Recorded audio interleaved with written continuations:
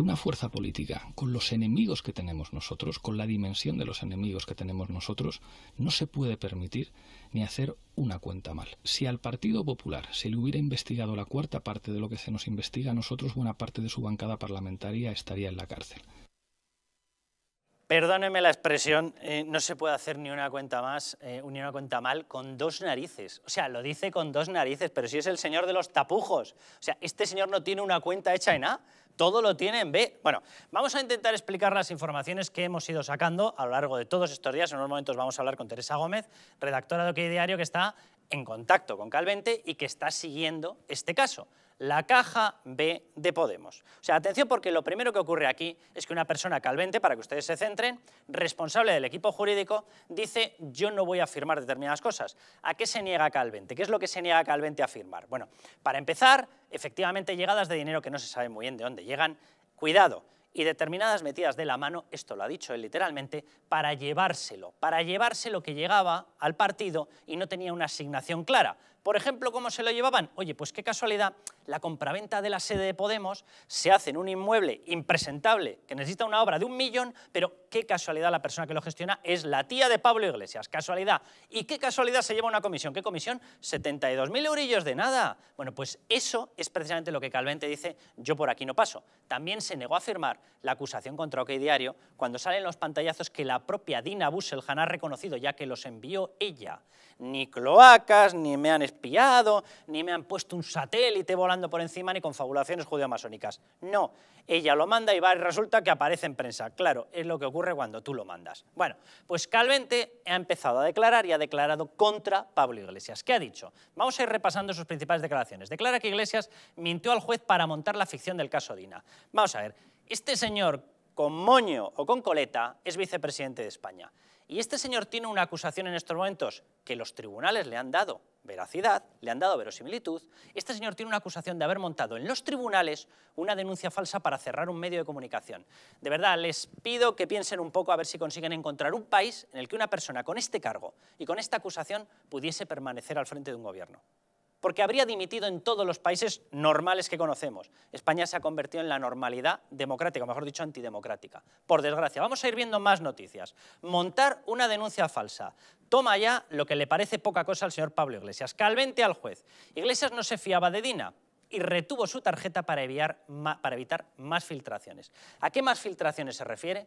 A las de dinero, se refiere a las de finanzas, porque también Calvente ha hablado ya de que tenían una caja B, también Calvente ha hablado de que esta gente, por un lado, desviaba unos ingresos, por el otro lado, desviaba los otros. ¿Para qué? Para utilizarlos como les daba la gana. ¿Dónde dice Calvente que acababan esas que habrían sido filtraciones porque aparecían rastros en esa tarjeta. ¿Dónde ha dicho el que acababa ese dinero? En sobresueldos. Lo ha dicho Calvente, tal cual.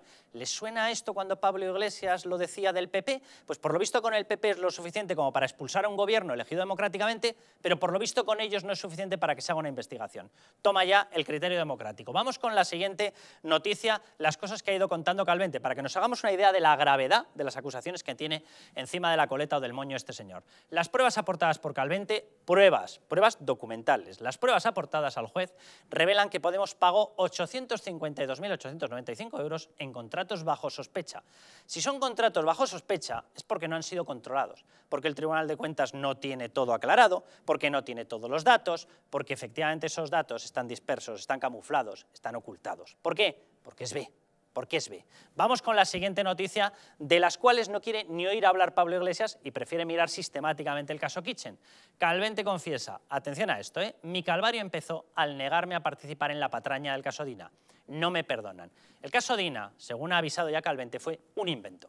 Resulta que les pillan con esa tarjeta y en esa tarjeta había fotos íntimas de Dina Busselham había las famosas frases de la azotaría hasta que sangrara de Marilo Montero y había muchas más cosas, ¿vale? El miedo de Pablo Iglesias no era lo que ya ha salido, si no, no habrían montado toda esta historia después de que ya había sido publicado. No, no, no, era lo que quedaba por publicar. Ese fue el miedo, por eso se quedó la tarjeta. Por eso no se la quería devolver a Dina, porque Dina le podría haber hecho chantaje, Dina lo podría haber vuelto a hacer circular, Y a partir de ese momento dicen, hay que montar aquí una historia, hay que decir que esto es un montaje de Villarejo y de Eduardo Inda y de OK Diario, todos son la cloaca.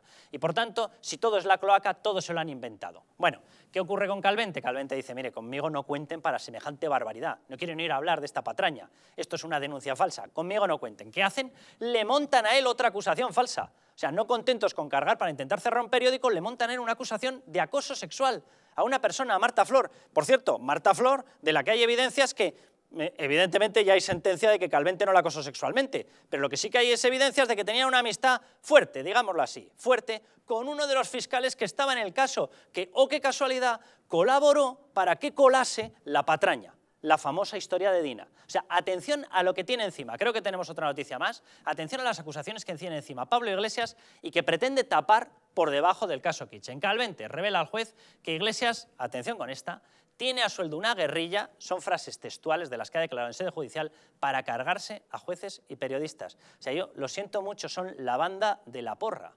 Hicieron y declararon la famosa alerta antifascista cuando Vox sacó 12 diputados. Utilizan la porra, son la banda de la porra. Y ahora resulta que tienen, según ha declarado Calvente, que tiene conocimiento de todas las cuentas, tienen a sueldo gente destinado en redes y en no redes Repito, ¿eh? este es el señor que ha hecho todo este montaje con el tema de me han escrito en una carretera, coletas rata. Mire, si quiere le dejo mi Twitter para que vea lo que son insultos. Pedazo, perdón por la expresión, pero pedazo de cagueta, pedazo de cagueta. Esos son insultos, los que recibimos todos, todos los días. ¿Sabe? Con la diferencia que yo no tengo ninguna escolta. Usted lleva veintipico acompañándole sistemáticamente. Pero me parece muy bien, si usted tiene derecho a que no le llamen rata. Por supuesto que sí, pero usted tiene derecho a montar una guerrilla a sueldo para cargarse a jueces y periodistas, porque se lo ha declarado en sede judicial la persona que tiene conocimiento de las cuentas. Repito, a sueldo, a sueldo.